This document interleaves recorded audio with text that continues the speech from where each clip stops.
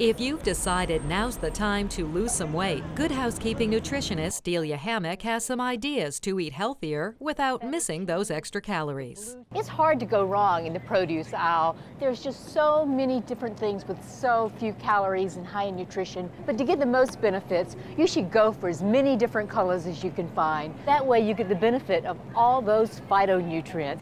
Health authorities recommend that everyone eat at least two servings a week of fish, especially the fatty fish that are high in heart-healthy omega-3 fatty acids. Chances are both you and your family would benefit from having more dairy and more milk in your diet, but there's no need to buy whole milk because it has saturated fat that you don't need. Instead, get one of the lower fat products right on down to skim milk, which is zero fat. And Good Housekeeping's food director, Susan Westmoreland, has easy meals to help you eat healthier. If you're making something like a stew or a stir fry, just change the balance of meat and vegetables vegetables, double up on the vegetables, and you'll get lots of phytonutrients and vitamins in your diet.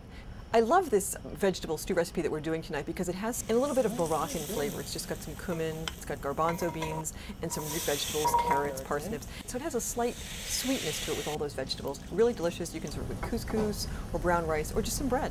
And Good Housekeeping websites, Constant Dieter blog has tips from one woman in a daily battle with her scale.